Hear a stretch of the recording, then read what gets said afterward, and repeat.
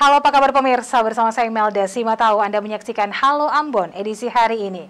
Dan pemirsa kami mengawali berita kami dengan cuplikan berita utama.